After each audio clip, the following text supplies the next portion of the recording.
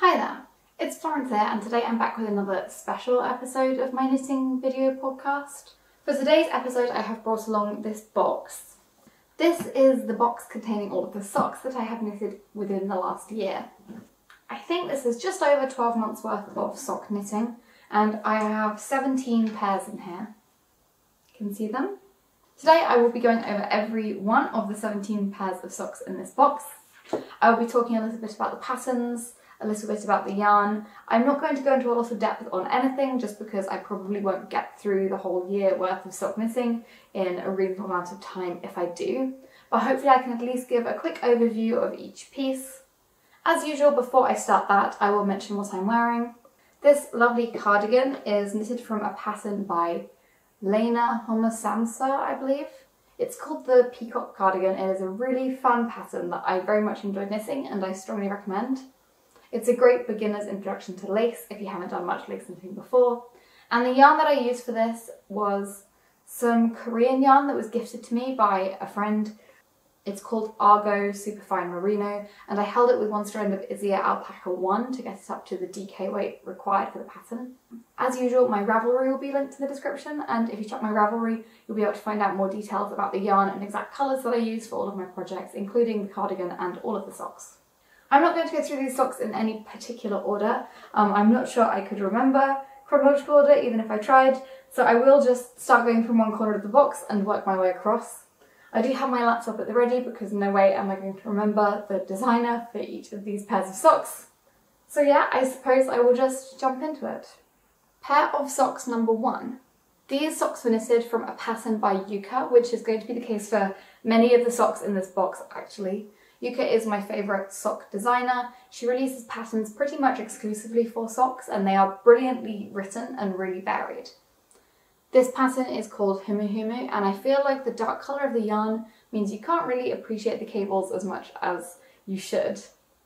These are asymmetric cabled socks. So each sock individually is asymmetric, but the two socks are mirror images of each other, so when you wear them they do form a symmetrical pair. Here are the cables on one side and the other side. These socks are knitted toe up. I used Regia Premium Merino Yak for this particular pair. I don't remember the colour. As I said, all of the colours will be listed in the description. Something to note about this sock pattern is that it is basically a one size sock pattern. The cables are only charted for one size, so if you have particularly large or small feet, you might want to bear that in mind. With that being said, I do have pretty large feet. I very often knit the largest size that a sock pattern comes in, and I find these work okay for me. They look pretty okay, and I really do like this yarn. It's very thick and sort of plush feeling, and the cables look really beautiful in it, even though they would have probably stood out more if I picked a slightly lighter colour. Here's one more close-up so you can see. It just has a regular slip stitch heel flap and even when the pattern tells you to do something different for the toe, I always just do a wedge toe. I find it fits me just fine. I've never really had any problems with it. And so all my socks are knitted that way. Pair of socks number two. This is actually the most recent pair of socks that I've added to this box. These are knitted from my own pattern. This pattern is called the Petal Drop Sock and you can find it on my Ravelry. The pattern has codes available so you can get it half off or completely for free. You'll find them all on the Ravelry page, so if you'd like a free sock pattern, you're welcome to try this one out. These socks are also knitted in Regia Premium. This is Regia Premium Bamboo, I think. Colour is number two Natur. See, I remember this because I just finished these ones off. They are knitted cuff down and they have this super easy lace pattern all over. Pattern comes in two sizes and the heel flap is just a regular slip stitch heel flap. I also have a full video tutorial for these on my channel, so if you haven't knitted fancy socks before, this will probably be my suggested place to start just because I do demonstrate all of the steps, um, and if you would like some video guidance, it's out there.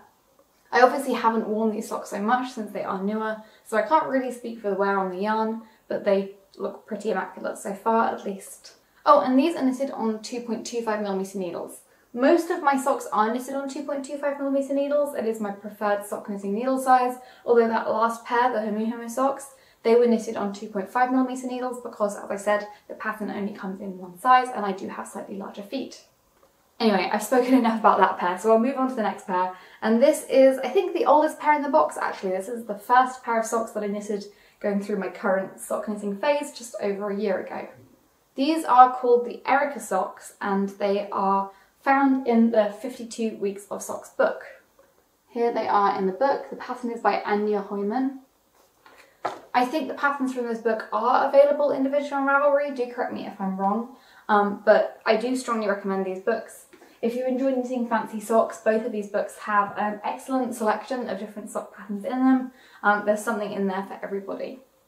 This pair in particular, I feel like it's a really common first pair of socks knit from this book.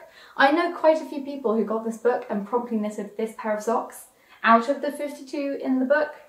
And for good reason, they're very pretty. I will try and open a sock up so you can see the design better.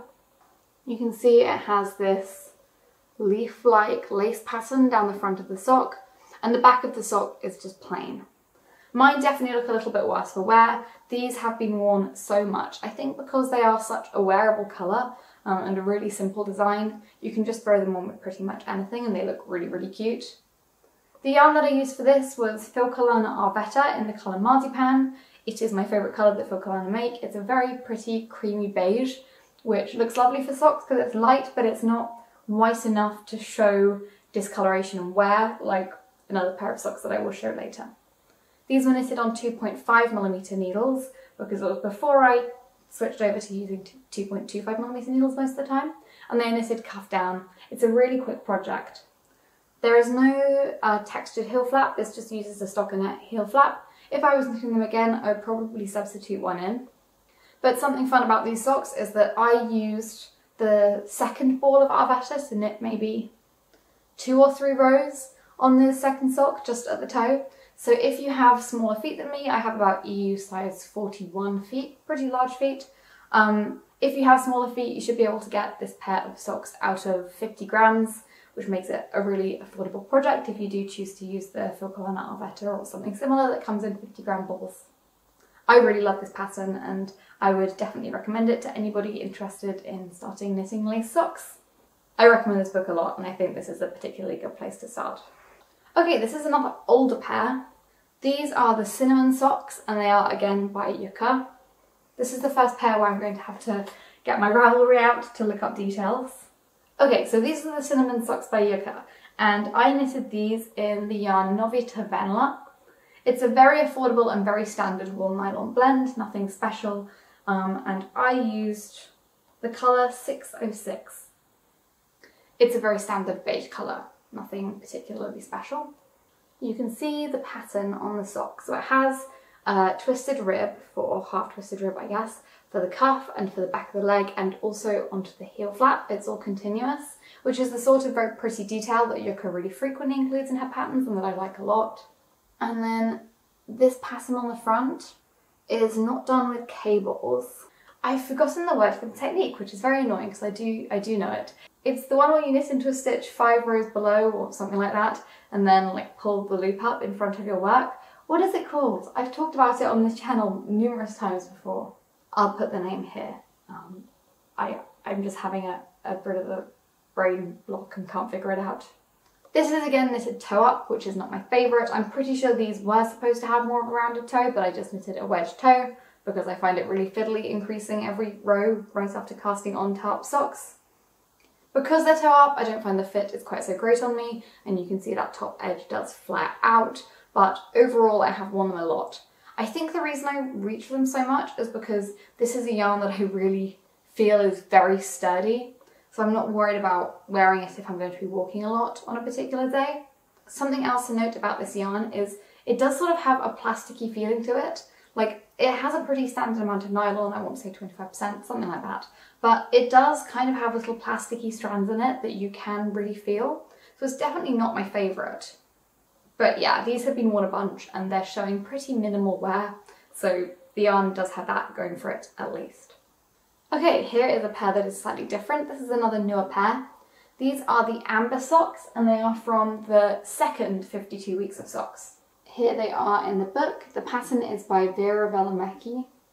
Now, these are, I think, DK weight socks. I think I mentioned when I was talking about these socks in the podcast episode at the time that it was slightly unclear what the yarn thickness recommended was for this pattern. But I actually ended up making the smallest size, which as I said, I have pretty large feet, so that's not like me. And I also ended up sizing down the needle size. So I used three millimeter needles to knit these because that left me with the stitch count and needle size that I normally use for DK weight socks, and so I knew it would fit well. For this, I used Rico Superba Alpaca Luxury Sock, which is a very thick and fluffy alpaca wool nylon sock yarn. That's in the light grey colour. And then in order to bulk it out to a DK weight, and also because I know that this alpaca luxury socks sort of, not even pills, but just sheds alpaca fibre horribly because I've used it for a jumper before, I did hold it with mohair to help keep it all uh, together a little bit better. The mohair that I used was mixed, I think. Like I used up various scraps of cream mohair that I had lying about since the colours are all pretty similar and so they are mostly interchangeable. I think it's mostly drops, but there's bits of other stuff in here too, I believe. These were a really fun and quick knit. You can knit them up over a weekend with no problems.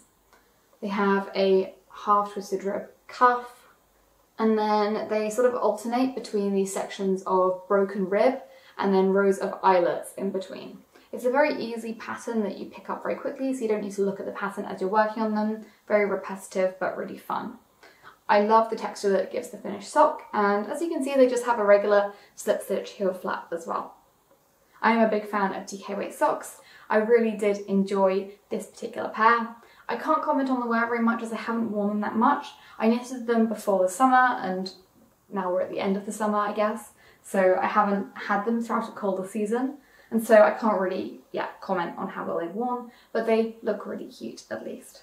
Pair number six, and I feel like I'm not moving fast enough to get through all of these in a reasonable amount of time. This is another pair of socks from a pattern by Yuka. This pattern is called Komorebi, and so it's a leaf pattern. It has all over lace, and the cool thing about this lace is it does go all the way up to the end of the toe. There's no stockinette toe, which I think is really pretty. These are knitted toe up. I used, I think, 2.5 millimeter needles, I guess, from looking at them. And these are definitely a bit of a squeeze to get over my feet. I'm not sure exactly what it is about toe-up socks that make them so fiddly for me to put on. Maybe it's just the way the heel's constructed. Uh, I don't think it is the tight bind off because I don't generally find the bind off to be too tight. But yeah, it's a recurring issue.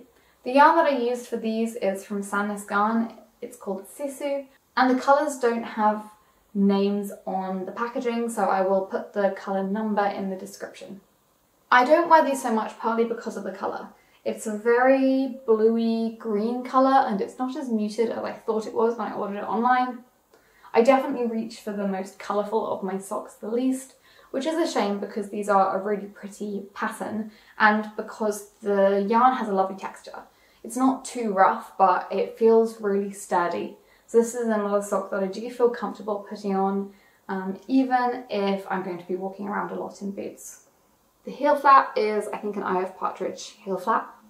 And I know I've said that a couple of the lace patterns on socks that I've showed in this video are particularly beginner friendly. I wouldn't say that this one is.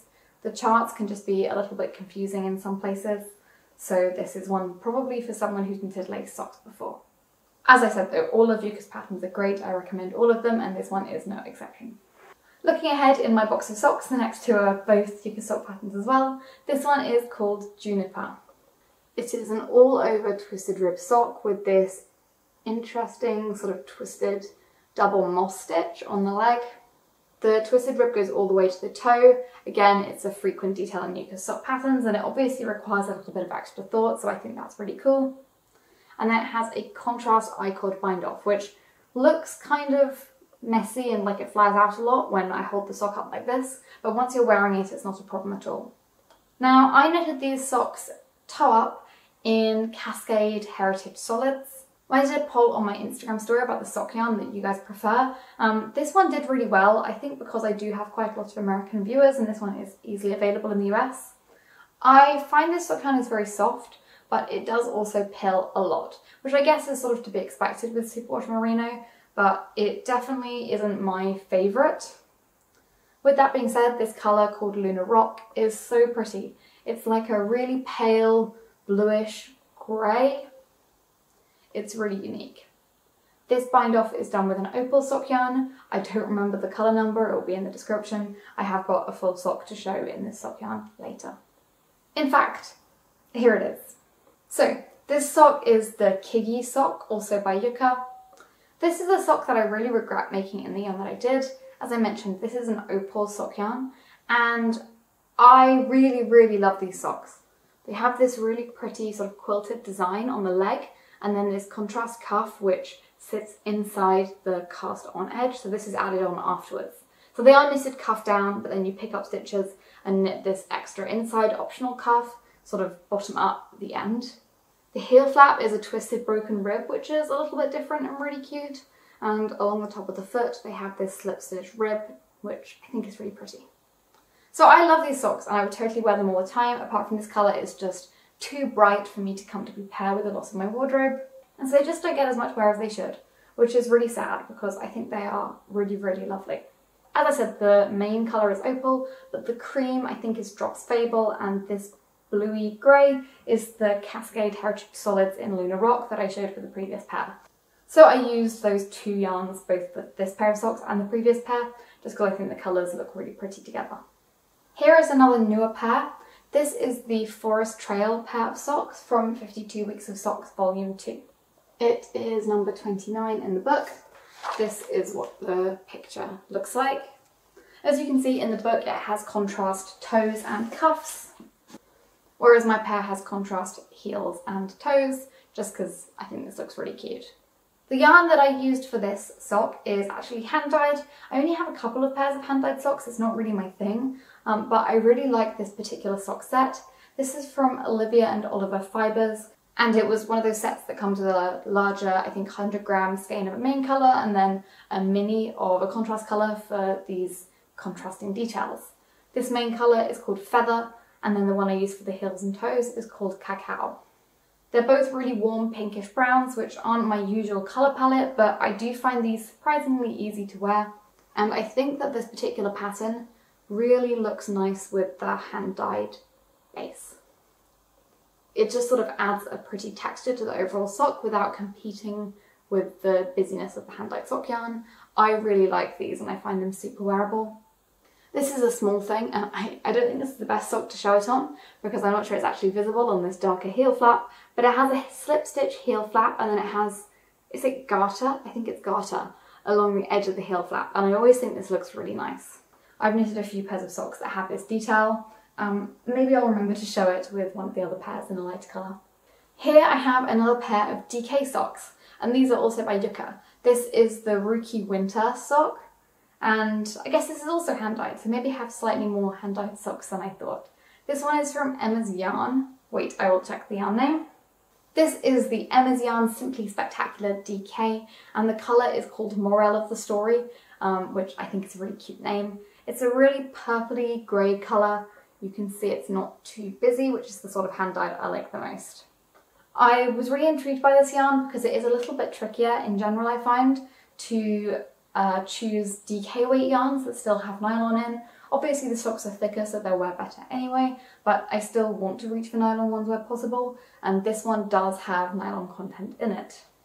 Yuka does this sock pattern as both a regular fingering weight version and also this DK weight version, so you can do whichever you prefer. I do find it a little bit hard to see the cables in this sock yarn, which is kind of a shame. They are faux cables, so they're done with increases and decreases rather than any actual cabling. And then there's broken rib along the front and back of the leg and a half twisted rib cuff. The heel flap on this one I think is just stockinette, there are no slip stitches. And these were definitely sort of less than a day per sock type projects. Really fast and really fun. I think they would make very good gifts. Oh, one thing is I have worn this pair quite a bit and you can definitely see the sock yarn is fading on the sole of the foot compared to the top of the foot. This is visible on a few of my pairs of hand-dyed socks. I think it's just sort of something that happens. I do hand wash all of my socks, so it's not something that's happened from machine washing. Most of these are superwash, but I don't particularly want to risk it, and so I do uh, wash all of them by hand. This is another of my oldest pairs of socks, and it has totally been through it. These have been worn a bunch. This pattern is called Kaisla and it is from 52 Weeks of Socks Volume 1. It is by Rachel Coopey and here is how it looks in the book. It doesn't have any larger pictures, which is kind of a shame. I think that for this pair, um, I knitted them on 2.5 millimeter needles, which as I mentioned is true of some of my oldest pairs of socks. And I also ended up taking a pattern repeat out of the pattern as written in 52 Weeks of Socks. I think that the pattern only includes pretty large stitch counts. I believe the smallest might be 72 stitches. It's certainly more stitches than I would expect for the smaller size. And so I took one full repeat out. I know a lot of people did the same. Now in hindsight, on 2.25mm needles, I could totally have got away with 72 stitches. Quite a few of my pairs of socks are that sort of stitch count. But yes, that's something that I did. Now it has this ribbed pattern which alternates plain rib and then this sort of um, lacy rib. It's quite unusual and I do think it looks nice. The heel flap is just a regular slip stitch heel flap. And the yarn that I use for these is Drops Nord, which is a very, very affordable wool and nylon sock yarn that also has quite a bit of alpaca in it. The alpaca makes it really fluffy, so the socks feel very luxurious. Um, I don't think you can see very well on camera, but these socks have felted the most out of any of my socks, particularly sort of um, towards the toe. Like, they're pretty much fully felted. And I know a lot of people do ask me how I avoid my socks felting. To be honest, I'm sure washing it by hand does help, but I think it's just something that's going to happen if you wear your socks a bunch, and I don't find that this particularly bothers me. They're not uncomfortable to wear or anything, so I just keep wearing them the same but I think that this sort of sock yarn does definitely felt more easily. With that being said, it's a very soft and luxurious feeling sock yarn, so if you want to make some really fancy feeling socks on a budget, I do recommend this one. It's really nice. Okay, so here is the next pair of socks. The pattern that I followed for this is called Stella and it is by Inke Yavakangas. This pattern is actually free on Ravelry. Um, I really enjoyed it, so I'd recommend checking it out if you are interested. It is knitted cuff down and it has stockinette on the back of the leg and this very sort of simple lace pattern on the front of the leg. If you haven't knitted lace before, you might think that this looks kind of complicated. I promise this is as easy as lace gets. This is another one that would make a great first lace project for sure. I knitted this on 2.25mm needles. It has a regular slip stitch heel flap and my favourite detail on these socks is between the twisted rib cuff and the stockinette on the back.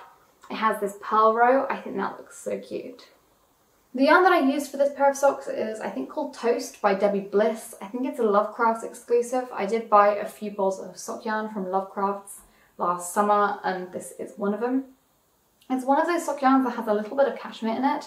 Um, it is very soft feeling, as I mentioned before. I'm not really convinced that the softness of this yarn comes from the 10% cashmere. I think it is just softer in terms of the wool chosen as well but it does feel very luxurious. I haven't worn these socks for many full days walking in boots because I'm a little bit nervous about how it would wear, but it certainly looks fine after having these for the best part of a year. This next pair is from another pattern by Yuka. These are the anemone socks. These are the only pair of socks in this video without a heel flap. Heel flap and gusset is my favourite sock construction, whether I'm working cuff down or toe up, but these ones do have a short row heel, this just sort of confirmed to me that short row heels are not my favourite. They're not as strong, but also I find that they don't give me enough fabric for my heel. I don't like having the top of the sock stretched out too much, where the sock goes over my heel, and that happens with this pair, which is a real shame because the lace pattern on these is really beautiful. Hopefully you can see what it looks like. So it has this very simple sort of floral looking lace, but the real standout feature is that it has this scalloped pattern. I don't know if you can see. So it has stockinette here and reverse stockinette on the sides and then scallops where it joins with slip stitches to sort of outline them. It's a really beautiful detail and it's what makes this particular sock pattern so special. The yarn that I used for this pair is from Isager, it's the standard Isager sock. It's also a sock yarn with a lot of alpaca in it, so it is texturally very similar to the Drops Nord I can't really comment on whether this one felts as much because I haven't worn it quite so much. It is a no pair of socks, but I'm looking at it now and there is definitely quite a bit of felting near the toe, so I assume this will behave similarly. It is a really luxurious sock yarn though, I do strongly recommend it.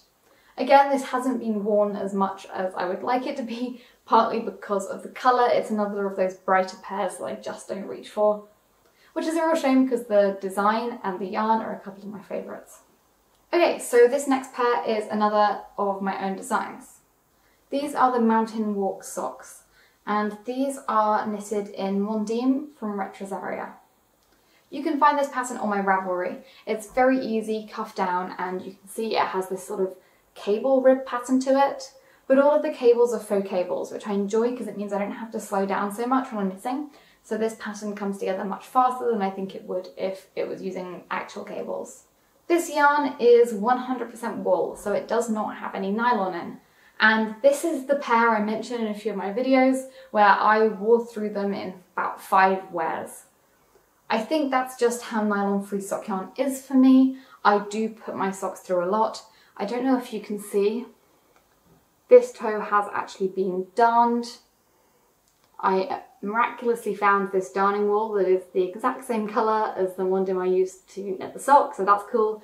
But I do need to go back because I found the corresponding point on the other toe is also almost fully worn through, and so I need to go back and darn that before I get a hole in it, since it's much easier to do a preventative darning situation than have to try and neatly sew up a hole afterwards.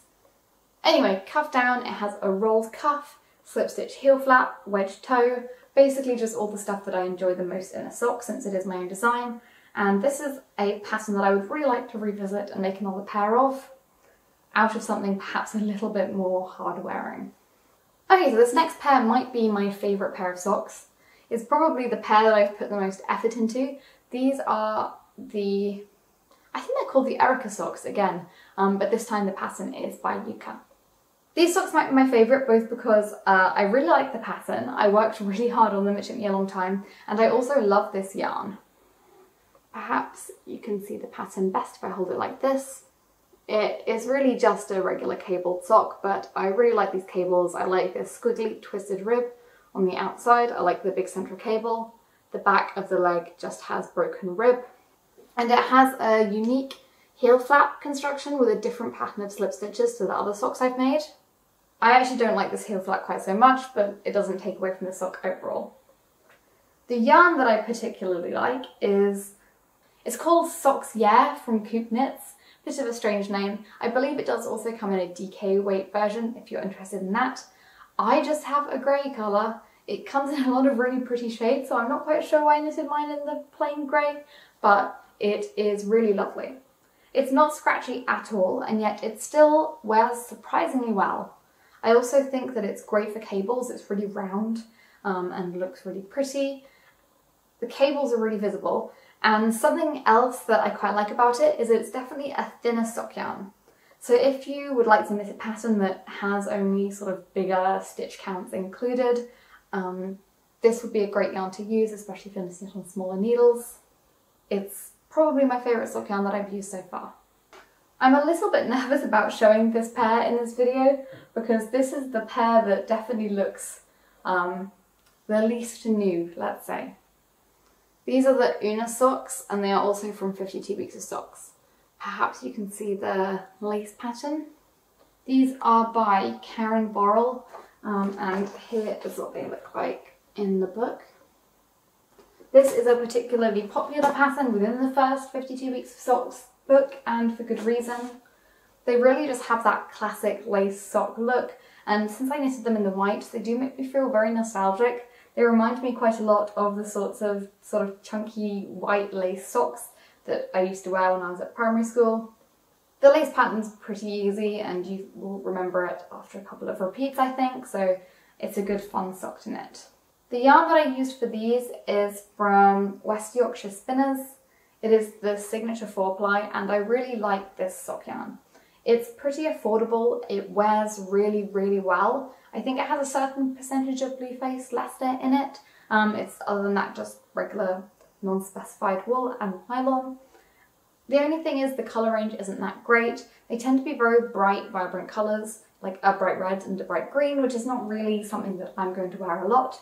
This is the completely white colour, so it's not cream, it is a white white. It's called Marshmallow and it looked very pretty but it has just become a bit discoloured over time from wearing it a bunch with dark coloured shoes for long days out. So yeah, I definitely recommend this yarn, not in the marshmallow colourway unless you want it to be a little bit high maintenance though. And with that we are coming to the last of my 17 pairs of socks in this video. This I think is another pair of socks from 52 Weeks of Socks Volume 2. I think the pattern is called Lakolk. I do not know how to pronounce that. I think the book says it's the name of a beach. It is by Lotta H. Löthgren. This is what they look like in the book with contrast heels, toes and cuffs. I chose this pattern because I had this yarn already and I wanted to choose a pattern that would suit it. It's a really, really simple pattern that I think works especially well with these sorts of hand-dyed yarns. It just adds a little bit of texture and doesn't compete with it. I think it's really lovely. The yarn is again from Emma's Yarn, this time it is fingering weight, and the colour is called It's Casual. I know I said I have trouble wearing a lot of my blue socks, not this particular pair. I find that the shade of blue actually looks really cute with jeans, um, it sort of coordinates well with them, so I find it a lot easier to pair with different outfits, and these socks get worn a lot. It's knitted cuff down, it has this sort of wider rib at the top, slip stitch pattern. It's kind of like a mixture of um, slip stitches and broken rib. And then I have a regular slip stitch heel flap on here. Now I think what I said about these socks, if I remember correctly, is that I followed the pattern from the cast on top edge to about here and then I put the book away and I went away somewhere and I didn't photograph the pattern to take with me like I normally do. So I sort of freestyled the rest of the sock. And so most of this sock is not knitted to the pattern, but looking at pictures, I think it's pretty similar to how it works out in the pattern as well. So yes, these are definitely one of my current favourites. I think they're so pretty. And it is one of the main pairs where I don't know how much it shows up on camera again, but I think the hand-dyed sock yarn has really faded a little bit on the sole of the foot. I don't particularly mind, but it's something to consider if you're super attached to really bright and saturated colours. Okay, so that is it. We have made it through my 17 pairs of socks from within the last year. I hope you enjoyed it. I really would like to film some more thorough sock yarn reviews where I talk about the performance of the yarn, especially on the older pairs that I've had a little bit more wear out of already, um, talk about that in more detail. But I wanted to do an overview so that you could see how many pairs of socks I've knitted in a year. This is slightly crazy. I feel like this upcoming year will definitely have fewer pairs to show. And that's okay. Last year I was particularly excited about knitting socks and I had a lot more free time and so I've made a lot and this year I'll do fewer. I don't need so many, I already have a lot. If you do have any questions about any of these socks, do feel free to ask them in the comment section and I will leave a list of all of the patterns and the yarn and yarn colours in the description if you'd like to check that. That is going to be a large task that I'm not particularly looking forward to, but I will do it for you. Thank you very much for watching. I will be back again soon with another video. Goodbye.